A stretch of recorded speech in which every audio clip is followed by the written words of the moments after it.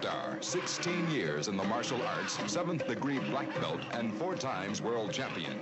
Introducing Ron Van Clief as the Black Dragon.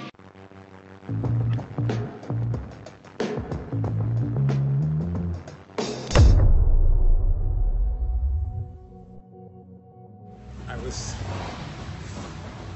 really in awe of Royce Gracie before I saw him because I watched one, two, and three, and I knew that uh, it would be a, a, wonderful challenge for me. And at age 51, I decided to take the challenge. But when I fought Royce, Helson gave me a big hug and kiss on the side of my face after the match, and I, I, I just felt a oneness with with that family. First of all, I'm not getting punched and kicked anymore. I've had my jaw broken, teeth knocked out, all of that stuff. Everyone here has been so helpful and kind to me.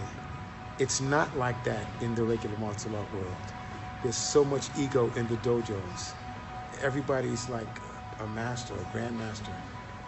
Here, you know, I took off my red belt and I put on the white belt to come here. It was a great experience for me. It humbled me. You know, I was a choking dummy for about two, or three years here. Everybody choked me. It was great though. It, it, it allowed me to see another another view of martial arts that I didn't ever really see. I did some wrestling in college and things like that, but it's not the same. When you come here, this is it. I focus on the drills, I focus on the techniques, and I find that jiu-jitsu helps me with everything. Takes the stress away, makes me care for my family and things more. It's allowed me to really just uh, come outside of myself and look. You know, I know how to punch and kick. I, will never forget that. But learning what to do on the ground, I used to think when guys said, "Oh yeah, every fight winds up on the ground," uh, it's mostly true.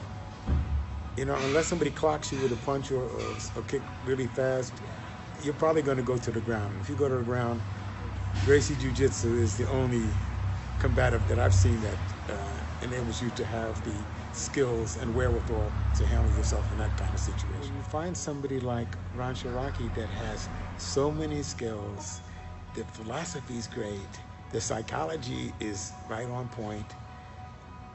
There isn't a better teacher of this for me at this point in my life. There's no way.